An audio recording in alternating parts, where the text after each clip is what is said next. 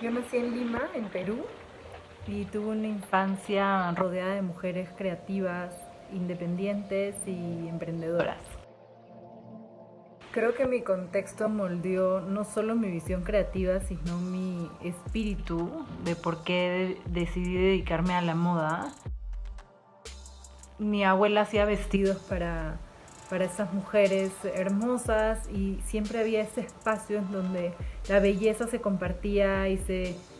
se valoraba este poder femenino y, se, se, aplaudían las unas a las otras y, y había como un, un entendimiento de, de, empatía y de, de valor y de poder femenino muy inspirador. Y yo creo que eso yo lo aprendí porque lo fui absorbiendo durante toda mi infancia.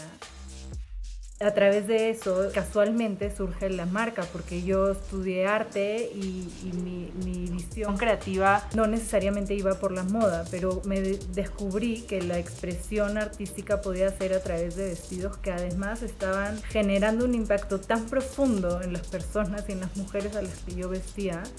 que me, me enamoré, me apasioné por esta práctica por el, por el contacto humano, por el poder transformador que descubrí que tenía en mis manos. Yo creo que la simbiosis entre la flor de Pasiflora y la obra de Gonchil que, que influencia muchísimo la colección y la inspira es esta um, sofisticación que encuentro en ambas, esta línea, esta gráfica que dentro de todo tiene la flor en particular, tiene muchas líneas y esta crudeza en la obra de Gonchil, además de la sensibilidad, la sensualidad, incluso la sexualidad que se perciben en ambas, este erotismo eh, que creo que, que, con el que estuve trabajando para crear toda la colección, que tiene un montón de, de vestidos, digamos que es una colección más femenina que las anteriores que he estado haciendo. Mi proceso creativo es muy orgánico, definitivamente empieza con un concepto que en ese momento llama mi atención, por el momento que estoy viviendo, o sea, también es muy personal. Y a raíz de eso, eh, lo primero es buscar los materiales, los ingredientes con los que se va a trabajar. Cuando se van mezclando es que empiezo a aterrizar esas ideas en, en dibujos y luego pasa a cortarse la tela y a trabajar el patrón y los bordados, que son siempre importantes y tal. La realidad es que casi nunca la idea original es como el último producto, porque es un camino en el que voy dando vueltas y descubriendo otras cosas y sumando otras y cambiando de opinión. Pero lo más lindo es cuando algo que tienes en la cabeza, ¿no? Que imaginas con el trabajo de un equipo en conjunto se manifiesta, ¿no? Se interpreta y se vuelve realidad. El proceso de bordado de cada pieza es bien bonito porque participamos varias personas, es una colaboración en realidad. Eh, no solamente es la idea original eh, o el motivo que traemos a, a, la mesa, sino la colaboración y la experiencia de los artesanos con los que trabajamos.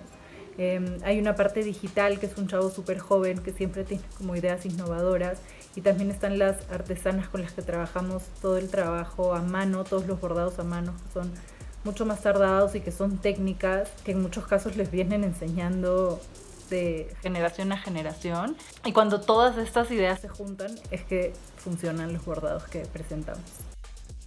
Bueno, para mí la moda mexicana de hecho es un, una expresión ¿no? de, de esta generación, de lo que vemos, de lo que sentimos, eh, de un país que ofrece con tanta riqueza visual, cultural, que todo este eclecticismo que es esta ciudad, creo que se ve reflejado en, la pasión de todos los que la trabajamos. Creo que un buen consejo para empezar un diseñador joven a emprender con una marca de moda es que, que reflexione bien acerca de qué, impacto quiere tener en este mundo, desde dónde quiere hacerlo, qué quiere transmitir y además si lo puede ligar como algún evento, alguna causa que tenga un impacto positivo en el mundo, sería como muy relevante y podría ser también como un diferenciador.